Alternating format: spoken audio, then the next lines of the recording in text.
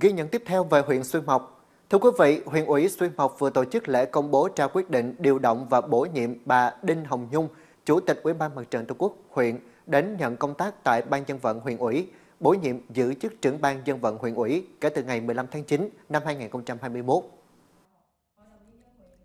Ông Phạm Thành Trung, Bí thư quyền ủy Xuyên Mộc trao quyết định và chúc mừng bà Đinh Hồng Dung đã được tín nhiệm giao nhiệm vụ trưởng ban dân trận quyền ủy, đồng thời mong muốn trên cương vị công tác mới, bà Dung tiếp tục phát huy năng lực lãnh đạo chỉ đạo, vận dụng kinh nghiệm để cùng tập thể ban dân trận quyền ủy và khối vận quyền đoàn kết thống nhất thực hiện tốt các nhiệm vụ chính trị của quyền.